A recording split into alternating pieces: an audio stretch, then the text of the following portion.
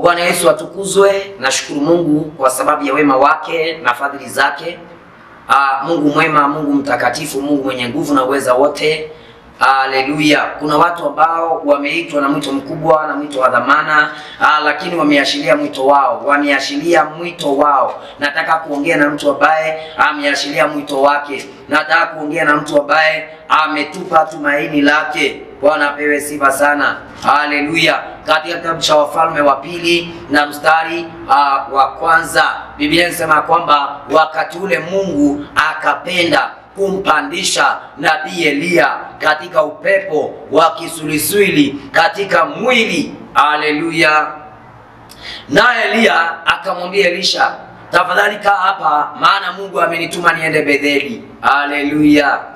Naye Elisha akamwambia Eliya, kama Mungu aishivyo na kama roho yako ishivyo, sitakuacha, tutaenda pamoja. Bwana apewe sifa sana. Lakini kuna hali ambayo imeshusha watu ambao wangekuwa watu wakubwa katika ufalme wa biguni wameshushwa na hali ya tamaa za kimwili za tamaa ya usherati. Mtu ambaye angekuwa mhubiri, angekuwa nabii, angekuwa daktari, angekuwa mwimbaji, angekuwa MCA, angekuwa gavana, lakini vitu vidogo, haleluya, vimemfuta na kumtoa na kumleta chini. Lakini nashukuru Mungu wa majeshi aliyekuwa ameaminiwa na nabii Elisha Haleluya! Naye akasimama akawakanya, akamwambia Eliya, kama Mungu aishivyo milele,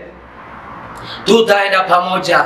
Sijui unapitia hali gani ya kwamba hata kama hii hali iko, kama Mungu aishivye milele, nitaenda na hii hali ya kukosa pesa, nitaenda na hali ya kukaukiwa mpaka nitakapotokea katika jina la Yesu, kwa sababu aliyo imekuja. Haijakuja tu ikuje, imekuja kufungia malango. Haijakuja ikuje, imekuja ikuzuilie. Haijakuja ikuje, imekuja ikuteremushe kutokana na kiwango ambayo Mungu wa mbinguni amekuandalia kupanda na kufika. Walipofika Betheli, maandiko inasema ya kwamba eh, nabii Eliya akamwambia Elisha, tafadhali kaa hapa, maana Mungu amenituma niende mpaka eriko Na Eliya akamwambia, kama Mungu aishivyo na roho yako aishivyo, sitakuacha. Wakaenda pamoja.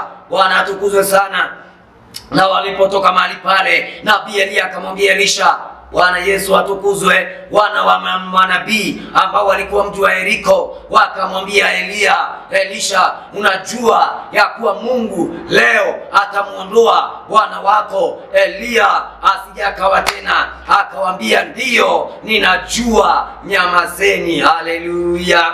Yaani una, ukiwa umesimama utanyamazisha roho ya tamaa, utanyamazisha roho ya usherati, utanyamazisha roho ya uongo, utanyamazisha roho ya fitina. Si Mungu akupatie neema ya kukaa pamoja na yeye. Shalom.